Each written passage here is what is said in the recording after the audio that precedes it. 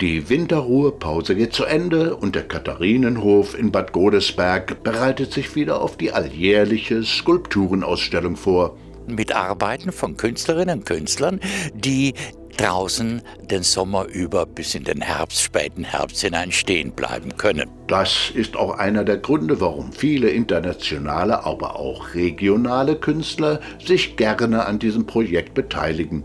Und auch weil die romantische Lage mitten im Wald viele Besucher anzieht. Und, was nicht unerwähnt bleiben sollte, es wird auch immer wieder gut verkauft.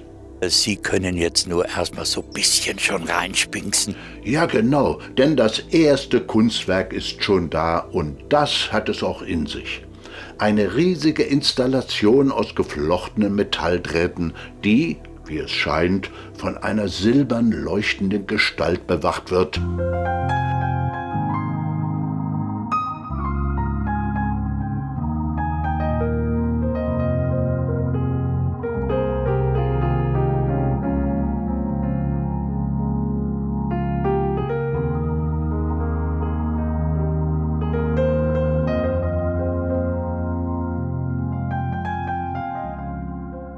Das kreisförmige Objekt lässt einen Innenbereich erkennen, in dem sich braune Gestalten leicht nach vorne gebeugt wie zur Verteidigung mit dem Kopf an die Begrenzung lehnen, während von außen die Ebenbilder in der gleichen Position den Eindruck einer Attacke auf die Privatsphäre im Innenbereich machen.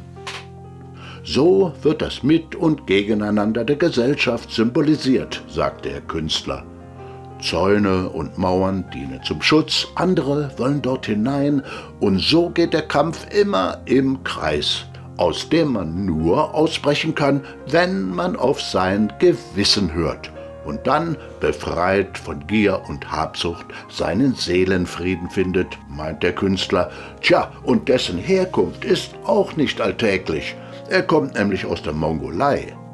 Neben vielen Ausstellungen dort war Archierbold unter anderem auch in Korea, Russland, USA und ab dem 1. Mai ist seine imposante Installation auch hier im Katharinenhof zu bewundern. Kommen Sie vorbei, es lohnt sich.